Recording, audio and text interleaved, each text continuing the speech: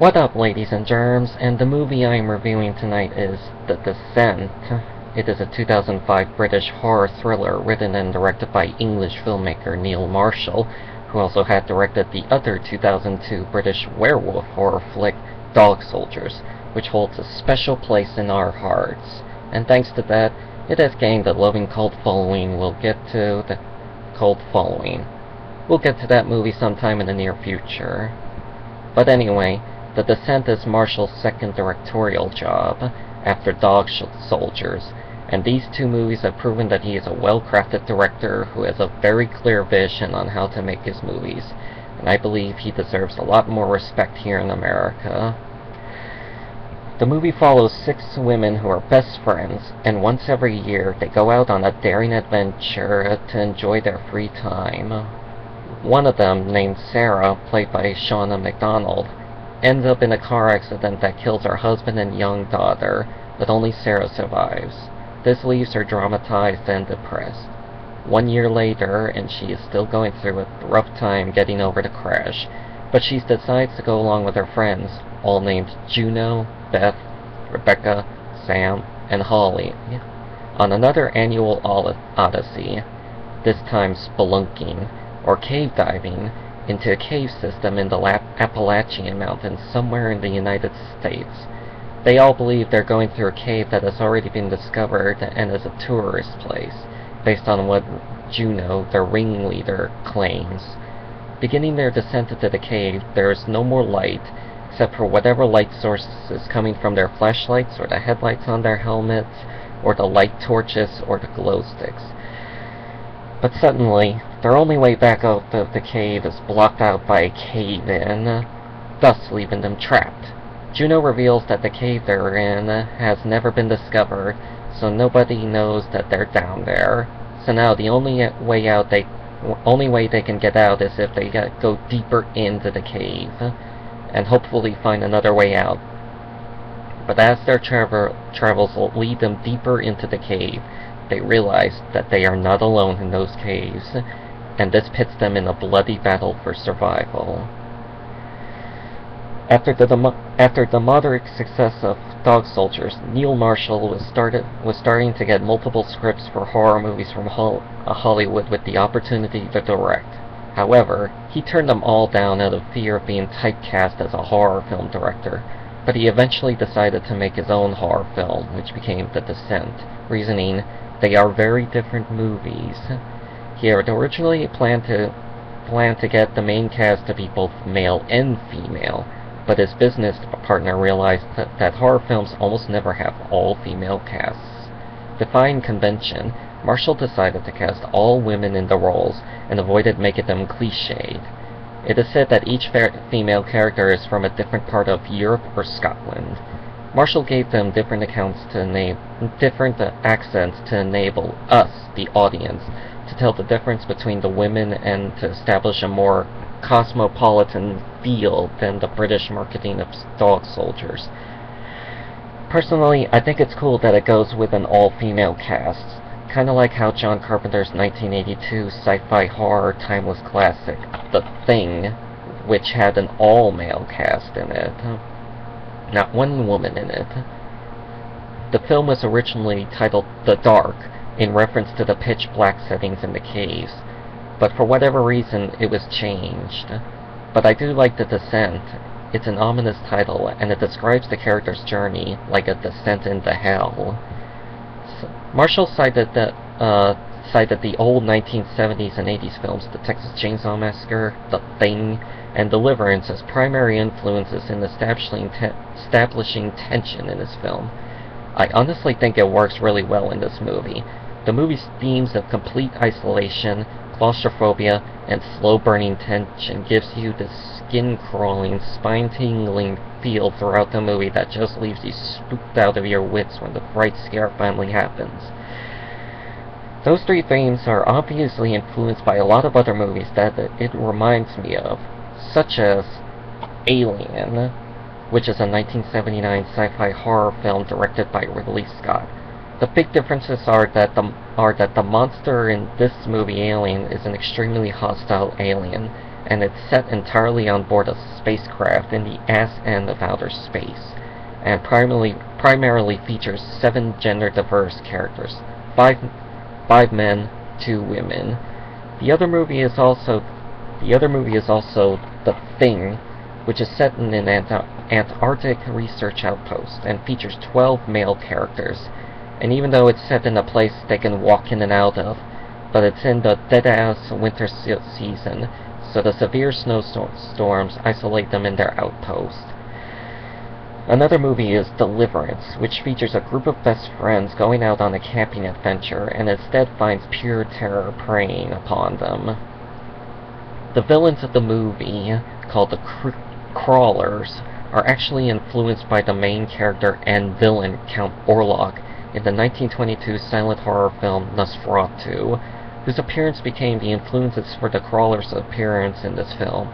I think they look terrifyingly creepy in this movie, and they almost look like demonic vampires. Makes my skin crawl.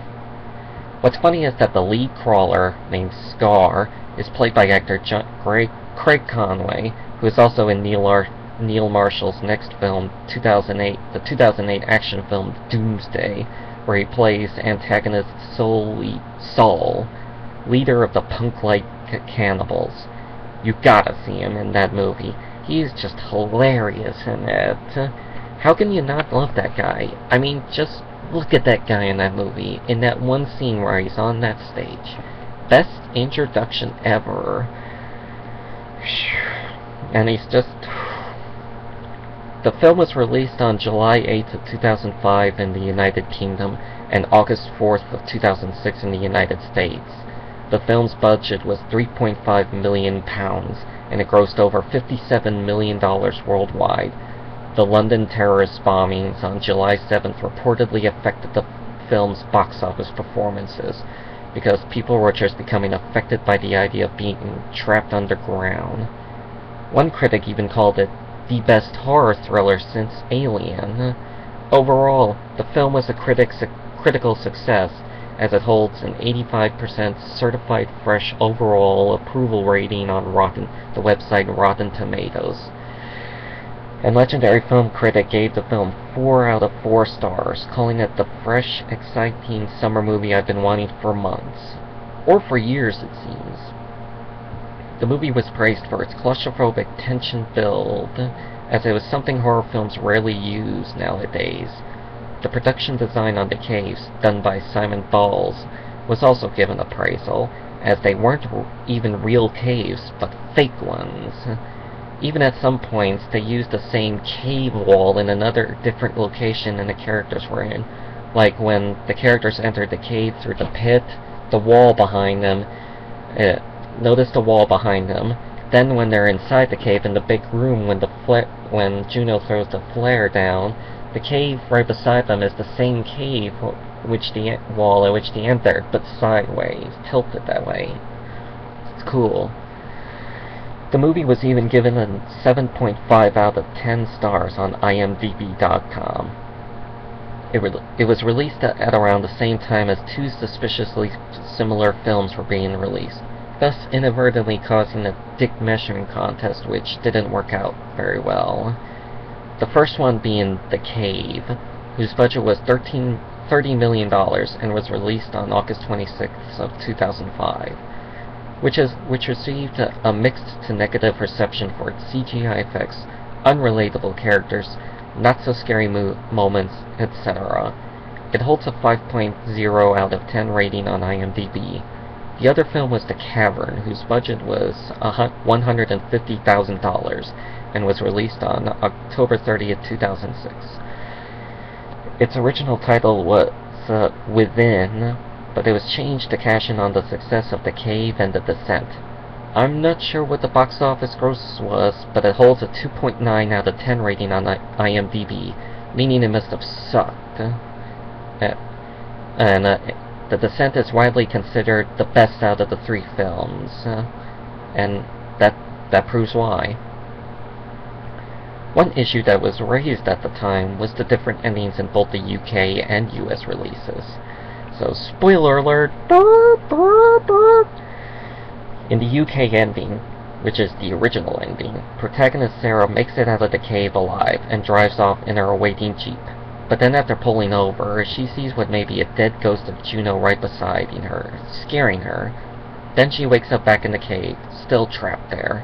But silently, she sees her young da daughter, alive, with a lit birthday cake in between them.